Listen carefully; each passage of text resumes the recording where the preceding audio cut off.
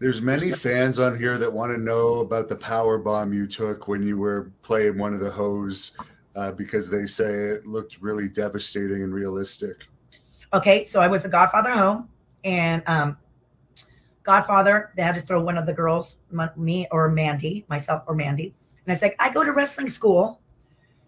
Throw me through a table, which I didn't know was going to take me off TV, and um, they they were sick, they were scared that I wasn't going to break the table, and I'm like, wait, Spike goes to the table, you know, Spike Dudley. Um, I think we weigh the same. I was like 160, 155. And I was like, I think I can break the table. It's a real table. And they said, just make sure she breaks the table. And he threw me up and with all his might, he still, every time I see him at an appearance, I just want to say sorry for that power bomb. And I remember coming back and I sold it. Like I did not move. I didn't, and they were asking me, are you okay? I didn't talk because I was selling it. I just didn't want, I was so, I was so green. I was such a rookie. And I was like, I don't want to get in trouble for not selling. And um, came back and the Undertaker but was, I told uh, Godfather, does she owe you money or something? And of course, my initial, yeah, of course, after taking that big, huge bump in my career, right? I wanted to go out and celebrate. And they're like, oh no, you don't show your face.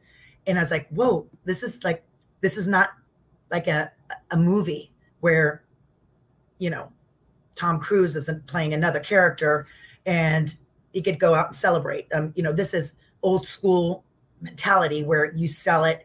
And I was a neck neck brace, um, and it took me off TV um, for a while, a lot, like a year or so, and that's when I was in OVW. And I'm like, I shouldn't have volunteered going through the table, but then I trained.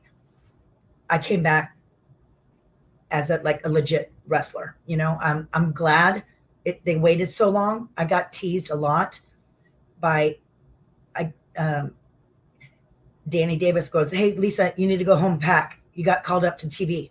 And everybody's like, Yay, like everybody in class, oh my gosh. And I come back an hour later, or two hours later, and they're like, What are you doing? And I go, They changed their mind. It happened to me a lot, but I'm glad that they changed their mind because it was it was meant to be. You know what I mean? They had different characters in mind for me, like a valley girl, because I'm a California girl, but I'm I don't look like a valley girl, you know, like the stereotypical bleach blonde and totally I even though I talk like that. But um I'm glad they waited because you're never ready. When you get the call up, you still feel green. You feel so green. And the pressure of going, they invested three years of me going, you know, moving. Um, I and I was getting paid to train, you know, not very much. Don't, you know, wasn't wealthy. Um, but I thought I was being tested. But I'm glad they waited because I wouldn't have been ready. If they brought me up a year into it, I would have been the shits. Excuse my language, but I would have been terrible, you know? And even though I, right now, still, when I watch my matches, I'm not happy with my matches. I'm too critical. I'm too critical. I'm like, oh man, that clothesline sucked, you know? Like, but that's how you get your craft better. You know what I mean? Thank you for watching the Hannibal TV. Please like this video if you enjoyed it and click the subscribe button to not miss any of our latest shoot interviews, match videos, or news updates.